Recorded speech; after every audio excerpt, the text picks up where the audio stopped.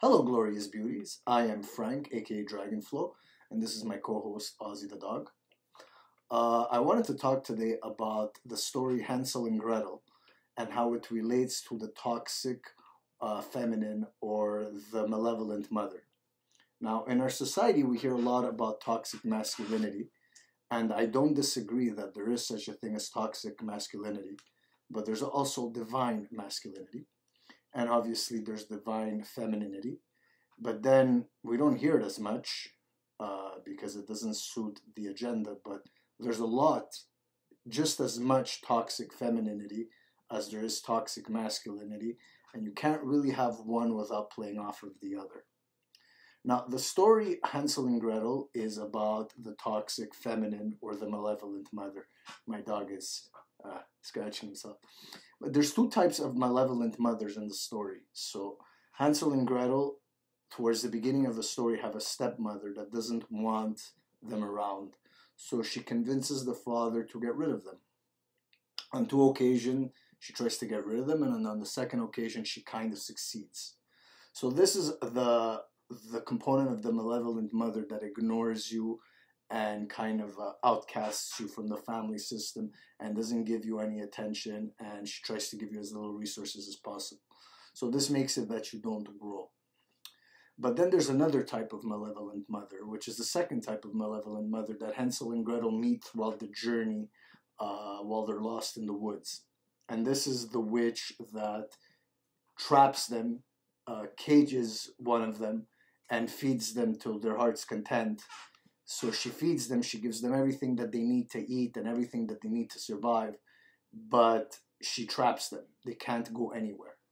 So this is another component of the toxic mother where she'll do everything for you, but you cannot escape her grasp. You always have to be by her side. You can't leave her or you're you're a bad person or you're an evil person. She makes you feel guilty about it. So both of these components are toxic the toxic feminine and the malevolent mother. Now, the thing is, we must be aware of toxic masculinity when masculinity is toxic, but we also have to be aware of toxic femininity when femininity is toxic. Why? Because when the masculine is toxic, both men and women suffer. So, like, I didn't have the best relationship with my dad, and my dad tended to be very toxic in a lot of occasions, and I suffered for it.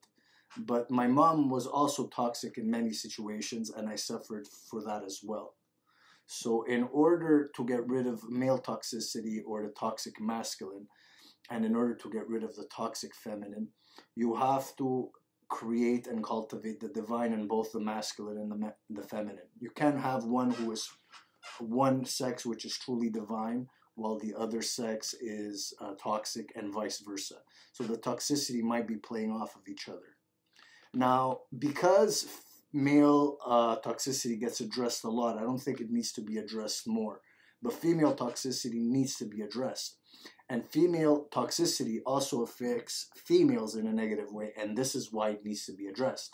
So, example, I had a friend who had the first component or the first element of the toxic mother, where she married her father, she married my friend's father, and therefore was her stepmother and as a to that alienated her beat her told her nasty things threatened her. So obviously this is not divine femininity. On the other hand had she would have done the opposite it's like stay by my side never leave i'll give you everything you want just stay with me all the time. This is another component of the toxic feminine uh, I really would like it if you read the story or at least watch a YouTube video about Hansel and Gretel because it'll give you an idea of what type of toxic feminine you have in your life. These videos are not to point blame at anybody or accuse any of the sexes for being good or bad. There is divine in both sexes and there's toxicity in both sexes. The thing is for us to get back to a middle point where males and females find their divinity in each other again, or alone if they wish. But we need to regulate the toxicity in both the sexes. If there is any in one or the other it is definitely in both. So i wish you all a beautiful day and namaste